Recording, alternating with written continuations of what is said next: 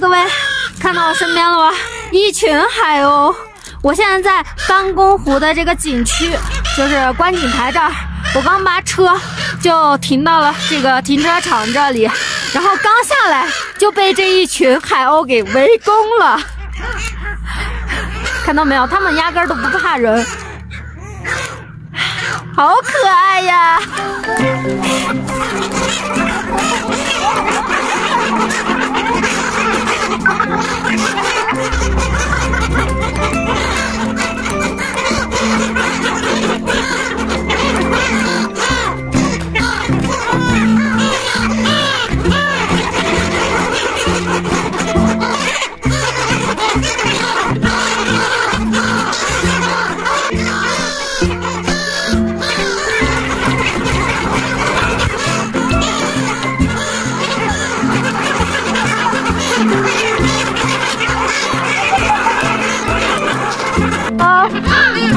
等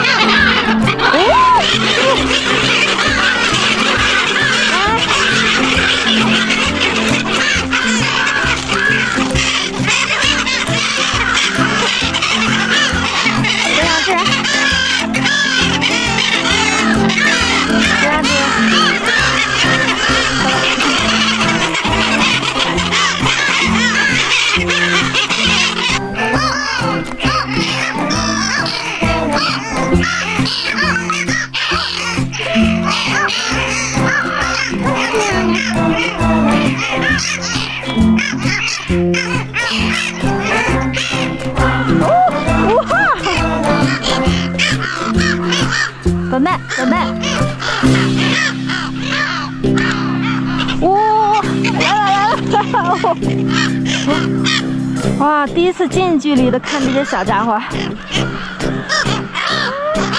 来了来了来了，他来了他来了。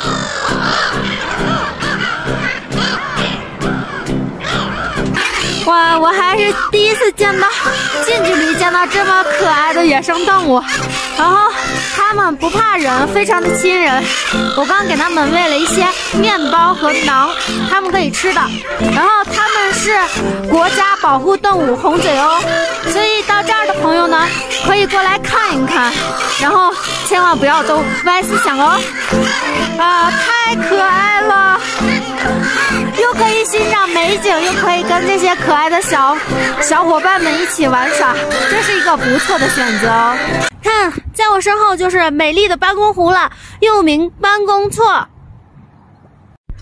班公湖又名班公错，地处西藏阿里地区日土县西部，湖面平均海拔四千二百米，东西长一百六十公里，它的三分之二在我国阿里境内。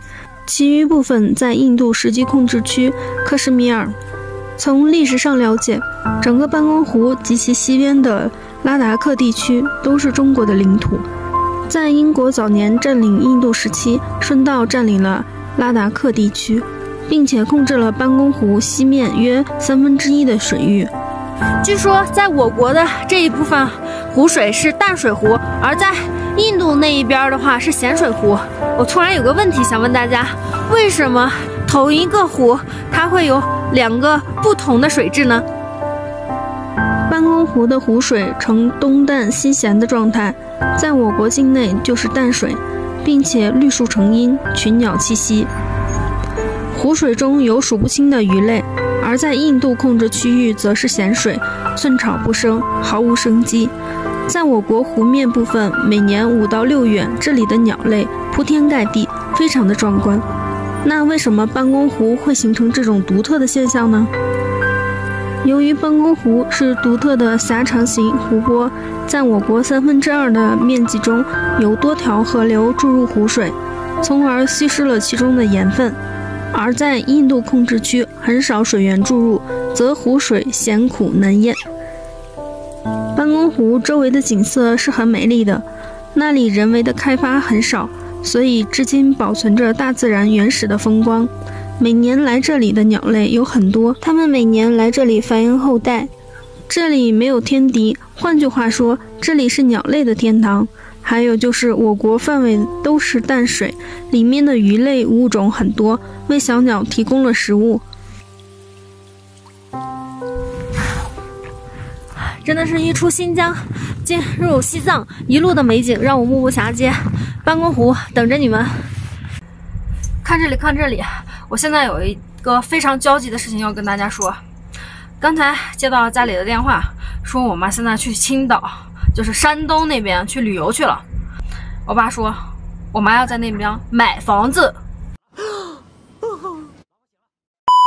我有一个大姨在那个呃嫁到那个山东青岛那边去了，我妈就去那边去旅游，然后没想到啊，这才去了几天，然后她就要在那边买房子养老。这个不是关键，关键是我手头上没有什么钱，然后在那边没有办法给她就是立马买套房子。如果要在那边买房子的话，就必须要卖掉家里的房子，然后等于是全家迁移过去。这么大的事情，那我必须要。先要调查清楚，我就在网上查了一下，我妈他们现在在那个山东的那个龙口，然后她说那边的房子特别好，他很喜欢，他就是要在那边养老。他先给我爸打了电话，我爸是因为他自己一个人过去的，我爸他怕他被骗了，然后就赶紧给我打电话。那我呢，也就是刚才在网上查了一下，然后我只想说就是。呃，我爸是担心在那边的话让人忽悠，给交了定金。因为这边的话，如果如果是真的要在那边买房，那我们这边就要把房子卖掉，然后就要迁移过去嘛。我现在就是特别担心他一冲动，然后被那边灌个迷魂汤啥的，然后他一交个定金，那如果到时候我在那边啊发现买不了了，那到时候定金也退不回来了。那不就这些钱不就打水漂了吗？我现在这个地方距离呃那边的话，大概也得要小一万公里了，太远了，我没有办法一时立马就赶过去。其实我也能理解他的心情，他应该是就是去了那边，然后觉得那边环境比我们这边呃沈阳好，然后那边又是离大海非常的近。他本他本身也特别喜欢海，然后也喜欢那些花花草草那些老人嘛，他可能就是对那环境要求比较，呃看看得重。作为儿女呢，也是希望自己的父母好，自己过得好的同时，也能够给父母好的条件，对不对？在网上查了一下，那个有有些人说那边的房子是非常的便宜。但是具体多便宜我也不是很清楚，网上就是说几十万。想了一想，海景房嘛，几十万确实也算是便宜的那种。那那为啥它那么便宜呢？所以在这里，呃，我想麻烦一下大家，就是有没有人在那个山东龙口附近一带的，或者就在当地的，呃，了解那块儿那个就是那些房子的朋友，然后能给我留个言，然后给我发一些那边的一些情况、图片，还有一些信息。我在这里先感谢大家了。